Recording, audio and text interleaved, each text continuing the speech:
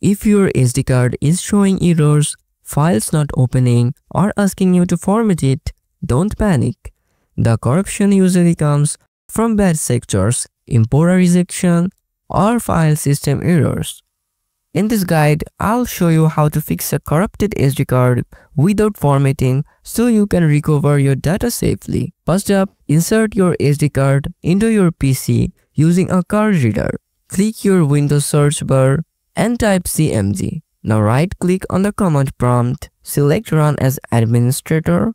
In CMD, type the following command and press enter. chkdsk space x colon space slash f space slash r. You will need to replace the x colon with your SD card's driver letter. Simply look it up as it will show in your file explorer.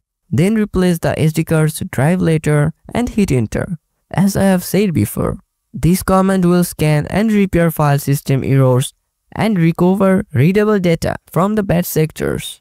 Once your process completes, safely eject and reinsert the SD card to check if it works. It actually worked for me. So I think it will work out for you too. And that's how you can fix a corrupted SD card without formatting it. Always remember to eject your SD card safely to prevent corruption in the future.